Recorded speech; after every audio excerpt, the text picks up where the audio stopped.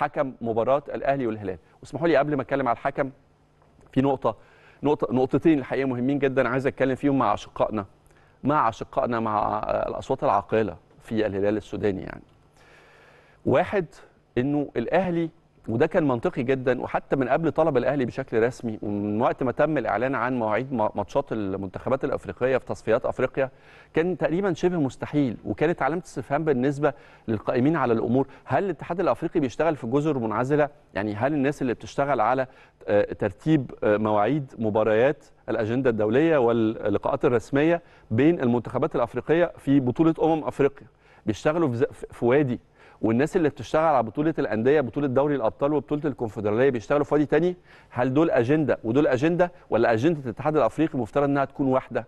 عشان ما يكونش في تعارض زي ما حصل تعارض قبل كده مثلا مع مشاركة ممثل قارة إفريقيا في بطولة بحجم بطولة كأس العالم للأندية وإقامة بطولة أمم افريقيا أمم إفريقيا في نفس التوقيت. ما هو في ثمن بتدفعه القارة بصرف النظر عن إنه كان الأهلي أو مش الأهلي يعني.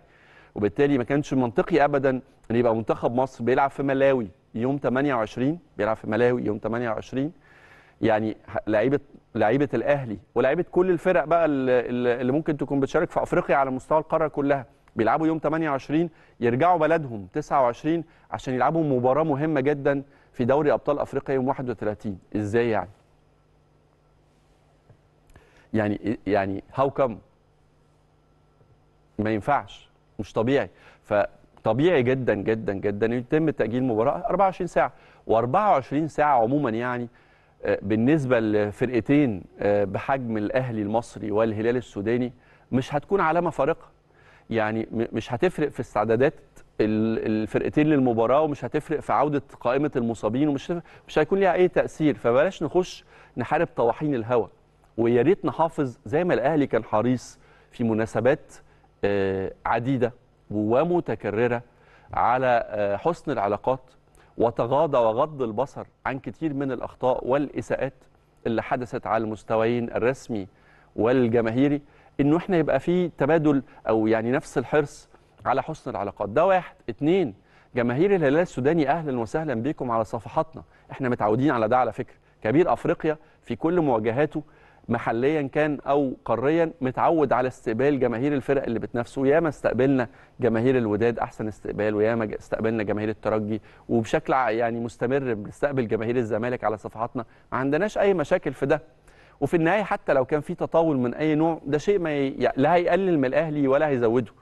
يعني دي حاجة بتعبر عن ثقافة معينة عن بيئة معينة عن مستوى تربية معينة. لا يسيء لينا بأي حال من من الأحوال.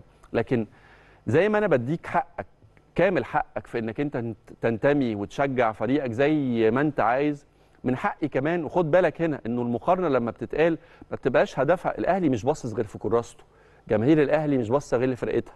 وأعتقد إن كل الفرق اللي بتنافس النادي الأهلي لو بذلوا ربع المجهود اللي بيبذلوه مع مع فريق النادي الأهلي بذلوه مع فرقهم فرقهم هتبقى في حتة ثانية فنرجو إن المباراة ايا كانت نتيجتها ما تأثرش في النهاية في علاقات وفي روابط تاريخية وفي آآ آآ يعني آآ علاقات كبيرة جدا بتجمع بين مصر والسودان. الدولة والشعب المصري والشعب السوداني أعتقد علاقتهم كبيرة جدا أكبر بكتير جدا جدا من مباراة كرة قدم.